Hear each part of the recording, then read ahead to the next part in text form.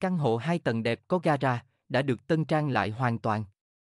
Tầng 5 1 phần 2 được cải tạo vào mùa hè năm 2022. Căn hộ ở tầng hầm có thể làm thành 3 1 phần 2. Sân lát đá, cửa sổ được cải tạo ở phía trước vào năm 2008, ban công và bậc thang được làm lại vào năm 2010. Đi bộ đến trung tâm mua sắm Anju, gần Palazzo Versailles và Gallery d'Anjou, tàu điện ngầm Honobilran và tất cả các tiện nghi.